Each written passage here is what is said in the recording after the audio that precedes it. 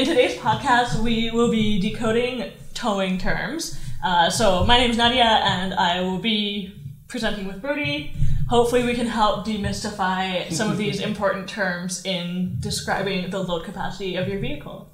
GVWR, GTW, GAWR, GCWR. What are all of these terms and letters? Just a bunch of mumbo jumbo jargon. So here we're here today to try and break it down, try to tell you what actually is important and what matters when you are towing a truck and trailer. So let's start with one of the biggest ones, GVWR, gross vehicle weight rating. Can you tell me what that is? Gross vehicle weight rating is basically the weight of the vehicle, the cab, uh, as well as any additional load uh, or cargo that it would carry. Um, so that would be the maximum amount of load that your vehicle would be able to carry, including the weight of the vehicle itself.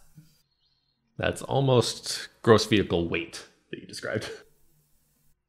So, gross vehicle weight rating is the maximum allowable rate weight of the vehicle, its passengers, cargo, fuel, fluids that the oh. vehicle can handle overall. It is yeah, the yeah, maximum yeah. allowable. Yeah, yeah, Versus gross vehicle weight is the actual weight of the vehicle, the true sum of what oh, your specific vehicle weighs. I thought I had said maximum. My bad. Okay.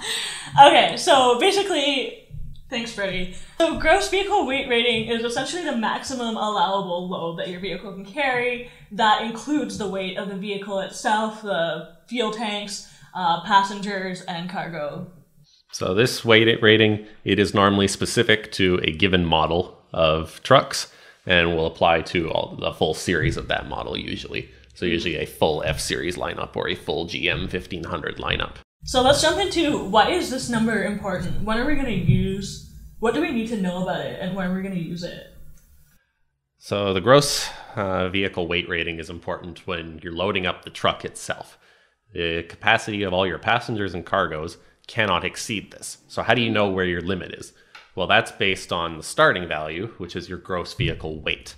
That number is very VIN specific. You have to go to the manufacturer with your VIN, and you will have a specific weight assigned to your vehicle based on what option packages and trim level it is equipped with.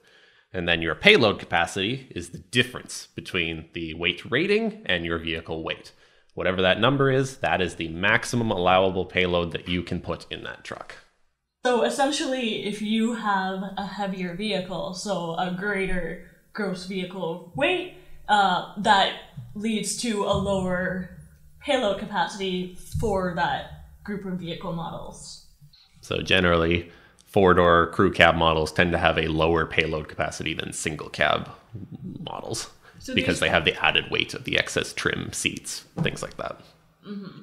So these are all important things to consider when selecting a vehicle, um, as well as uh, determining what is the cargo requirement for the vehicle that you do have. So next up is GCWR, gross combination weight rating or gross combined weight rating. Now, do you think you tell us what that is? Uh, yeah. So your gross combined vehicle rate weight rating is exactly what it sounds like. Bit of a tongue twister. Um, so basically, the keyword is combination. So it's very similar to your gross vehicle weight rating in that it's the upper limit of the amount of load that your vehicle can handle. That includes the vehicle cab, um, fuel tanks, passengers. Uh, the difference is that the gross combined vehicle weight rating accounts for any trailers um, that the vehicle would be hauling as well.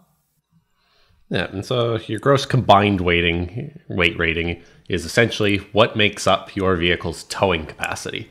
So how do you determine your towing capacity? Well, I got to do a little bit of math there. Uh, their vehicle's towing capacity comes from it, the gross combined weight rating minus your gross vehicle weight.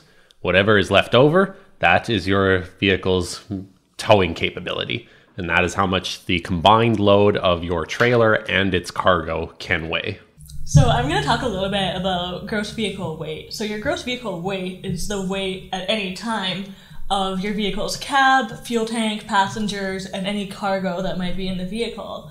So while the gross vehicle weight rating is a specification of the maximum, uh, gross vehicle weight is just the weight at any point in time on the vehicle. The gross vehicle weight rating gross combined vehicle weight rating and the vehicle weight, uh, which is individual to and very specific to the vehicle um, within the model range. So, using these values, you can derive values such as payload capacity, towing capacity. So, when you have your towing capacity and you want to make sure you're staying within that, a good thing to look for on your trailer is the GTWR, the gross trailer weight rating. This tells you how much your trailer is capable of hauling. So if you make sure this upper limit stays with underneath your uh, towing capacity, you will for sure not exceed that and overload your vehicle.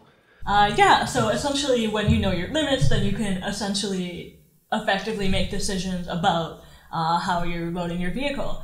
Um, so we will jump into where to find these values. Uh, so, Freddie, do you want to start us off on that? So, how to determine all these values for your vehicle. So, typically, inside the driver's door, in the door jamb is generally a sticker that will indicate the gross, the GVWR, the gross vehicle weight rating, as well as the gross axle weight ratings. So what you're really concerned about is the gross vehicle weight rating, the GVWR. So you have that value there. To find your gross vehicle weight, you need to take your VIN to the manufacturer, and that's, that is very specific to your model of truck, and they will give you that value. So using those two values, you can determine what um, your maximum payload is for your truck. Same thing on usually in the door jamb is another sticker indicating the gross combined weight rating. And you can use that value again with the gross vehicle weight to determine what your max towing capacity is. Those are two numbers, payload and towing capacity, that you generally want to jot down, keep a note of, maybe throw them in the glove box so that way you always have them on hand to know what your truck's limits are. All right. So thank you for watching. Um, hope this was informative. If you have any questions or comments, uh, leave a comment below and uh, let us know what you think.